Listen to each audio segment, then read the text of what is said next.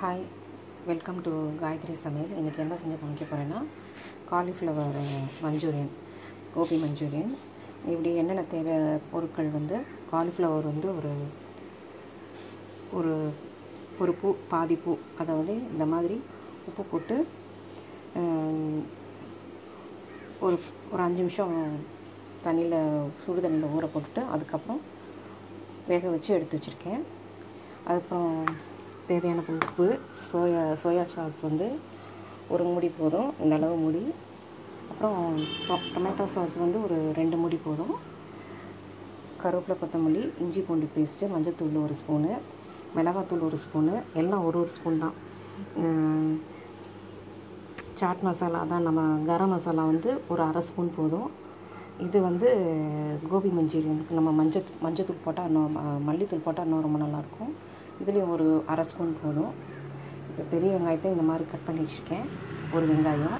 இப்போ எண்ணெய் சட்டியில் ஒரு கடாயில் வந்து மூணு ஸ்பூன் எண்ணெய் ஊற்றிருக்கேன் இது என்னென்ன ஃப்ரை பண்ண போகிறோம்னா வெங்காயம்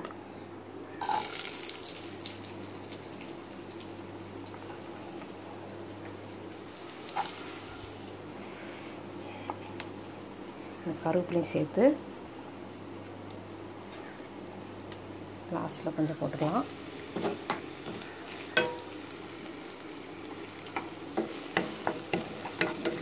இந்த அளவுக்கு வெங்காயம் கொஞ்சம் ப்ரௌனாக வரணும்.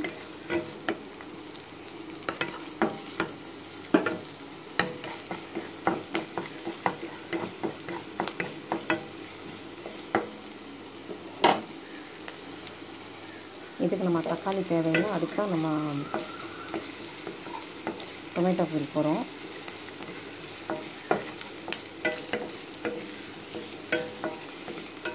டொமேட்டோ சாஸ் போட்டோம்னா புளிப்பும் இனிப்பும் இருக்கும். நல்லாயிருக்கும் டேஸ்ட்டாக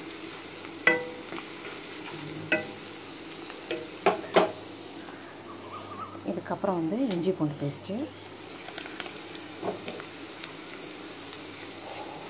பச்சை வாசம் போகணும்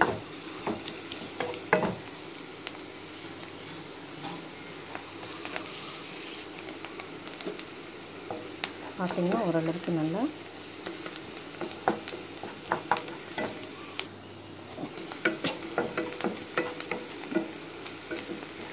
இந்த கலரில் வந்தால் போதும். அடுத்தது நம்ம இந்த பொடியெல்லாம் போட்டுடணும்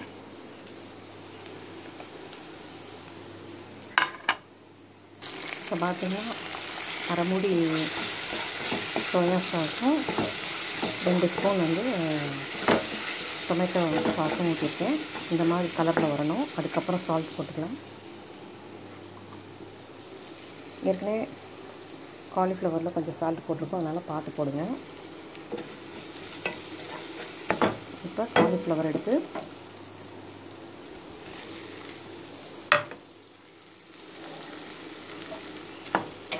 நல்லா மிக்ஸ் பண்ணணும்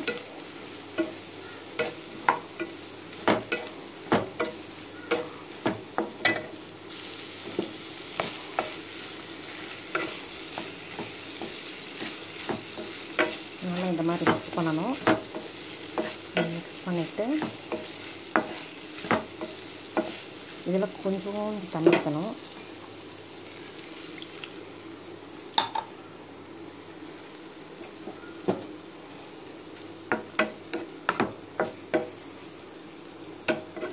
கிரேவி மாதிரி ஆக்கிடக்கூடாது.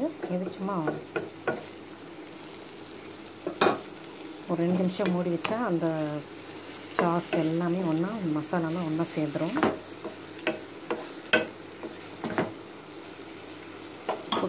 கொஞ்சம் லைட்டாக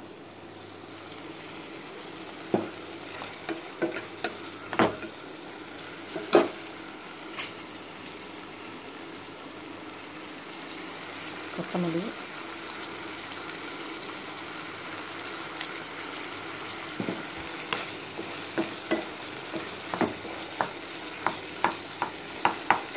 கோபி சிக்ஸ்டி ஃபைவ் செய்யலாம் ஆனால் இது செஞ்சு பார்த்தீங்கன்னா இன்னும் ரொம்ப நல்லா டேஸ்ட்டாக இருக்கும்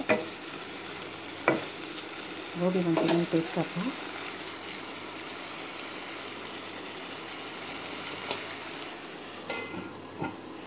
ஒரு ரெண்டு நிமிஷம்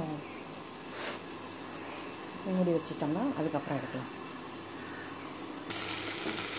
இப்போ இந்த ஸ்டேஜில் இருக்கும்போது ஆஃப் பண்ணிடணும். அவ்வளோதான் கோபி மஞ்சூரியன் ரெடி இப்போ பார்த்தீங்கன்னா கோபி மஞ்சூரியன் ரெடி ஆயிடுச்சு. எப்படி இருக்குன்னு பார்த்துட்டு செஞ்சு பார்த்துட்டு எனக்கு கமெண்ட்ஸ் அனுப்புங்க தேங்க்யூ